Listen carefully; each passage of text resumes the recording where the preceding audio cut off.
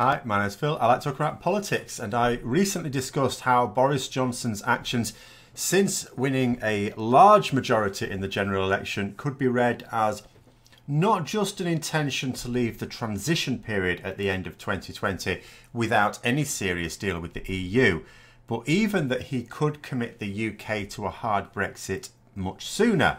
Well, in this video, I'd like to discuss how that same cliff edge hard Brexit could yet emerge but from the EU Parliament this time.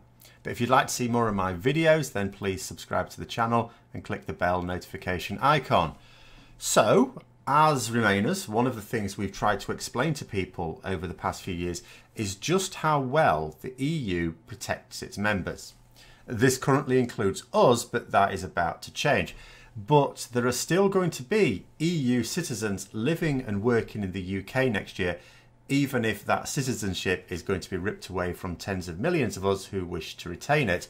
It's one of the reasons I gave for Boris Johnson being unable to get a deal with the EU in 2020. His stated policy is to remove the rights from not just UK citizens, but any EU citizens in the UK as well. He's also begun the legislative process to do this, so it isn't just talk, he's actually going ahead with it and the EU will simply not agree to a deal, certainly not a permanent deal with the UK, that compromises the rights of EU citizens. So, in the past few weeks, various EU representatives have been warning that Boris Johnson may be breaching the withdrawal agreement with what he's been doing since the general election and what he was promising before the general election. I mean, if he does, and, and the EU Parliament suggests that this is happening, then we don't actually leave the EU into a transition period at the end of next month, but into the hard Brexit chaos discussed in the government's own report entitled Operation Yellowhammer. And when it comes to a hard Brexit, the British Civil Service have already said that we cannot prepare for this eventuality by the end of 2020. One more year is not enough time. So we're not even close to being prepared for the beginning of the year despite Johnson pissing away billions of pounds on apparently preparing for just this eventuality. So Guy Verhofstadt was explaining about a week ago that the problems that Boris Johnson's government is creating for EU citizens in the UK would mean that the EU Parliament, which still has to formally ratify the withdrawal agreement, could vote against the deal. Now, it has to be said that the EU Parliament is like any other parliament, including Westminster in the UK. It is comprised of individuals who will have their own various reasons for voting for or against a motion. In fact, unlike with a national assembly, the EU Parliament has way too many factions for anyone other than a full time observer to possibly tell how they would react to certain things. And I am far from a full time observer. They're made up of politicians, like any other, and mostly under the control of a national party's leadership, just like MPs in Westminster. So, would the EU Parliament really vote against this agreement? Well, on the one hand, it, if it looks like Johnson isn't going to hold up his end of the bargain, and he's not, then I suppose it's possible. They'd certainly be in their rights to say that they will not agree a deal with a government that is abusing its own citizens and leaving them without any immigration status. I mean, agreeing to something that will make their own citizens homeless and unemployed and stranded in a foreign country is not going to be a good look for them. That being said, if Johnson really wants to do that, then voting against the agreement doesn't stop it it will simply be making a stand, but it's a stand that has other costs as well. I mean, a no deal Brexit is bad for everyone in the EU. The UK mostly, of course, but also the other nations of the EU to a lesser extent.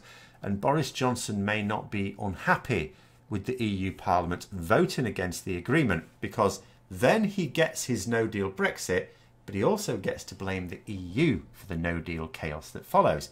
This is despite the fact that he and other Brexiteers have said that we will absolutely cope without a deal, no problem at all. But what will matter to those MEPs in the European Parliament is not so much who Boris Johnson blames, but who their own citizens blame. So it may well be that this statement from Verhofstadt is a political statement intended to get action from the British government, but ultimately without any teeth if MEPs are not actually considering voting against it at all. I mean, what Verhofstadt wants is, and what the EU Parliament in general would want, is for the right to settlements to be almost automatic. That the Home Office has to come up with reasons to reject an application rather than that there has to be reasons to stay. This is, after all, what the British government promised until recently. Uh, even hardline Brexiteers were saying, of course, we want EU citizens to be able to stay. There shouldn't be a problem with that. In fact, government ministers are still saying that they want EU citizens to stay, despite denying many of them this right and holding lots more in an uncertain legal limbo. I mean, I'll be honest, I don't think that Boris Johnson will do anything to further guarantee EU citizens' rights. He's much more likely to remove ones that currently don't seem to be under threat. I mean, there's just not the enormous political pressure on him to concede anything, um, but there is actually quite a lot of pressure to engineer a hard Brexit if he can as soon as possible. I mean, like I said, it would not displease Johnson's backers, his supporters, to see the EU Parliament shoot down the withdrawal agreement and leave us without any EU deal on February the 1st. So I imagine that this is a political calculation on the part of MEPs as to which does the most damage. Do you agree to a deal with a government that is denying agreed rights to your citizens abroad? Or is there more political damage from being blamed for triggering a no deal Brexit? Um, I suspect that the latter is going to hold true and that the deal will be ratified it just seems the safer option for MEPs to do so, but it might be interesting in the event of a significant split in the vote, whichever way it goes, to see which nations' MEPs and from which parties do vote against the deal.